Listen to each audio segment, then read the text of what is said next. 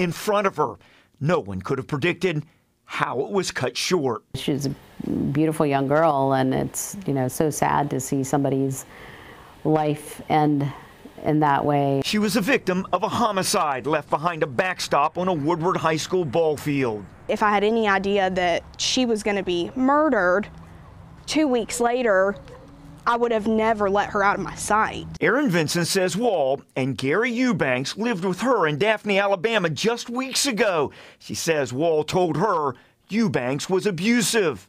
We knew it was unhealthy, but obviously, what can you do to someone who is 18 years old to say, go back home to your parents who care about you? That was just two weeks before what happened at this microtel in Daphne. Wall was seen going into the lobby. Moments later, police say Eubanks comes in and robs a clerk at gunpoint.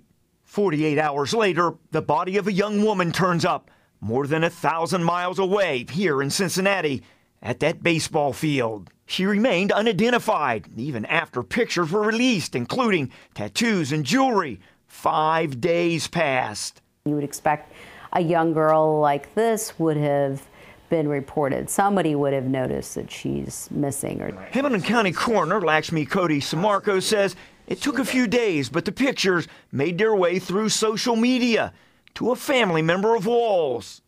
A member of her family contacted her parents and said that you know this description might be uh, your your daughter, and they contacted Cincinnati police on Sunday. It led to the identification of Baylee Wall, but it has not led to her killer. And we've learned there's another twist. There was a third person that was seen in the microtel video. Police want to talk to Eubanks and that other person. So far, they remain elusive, along with the answers to what happened to Baylee Wall.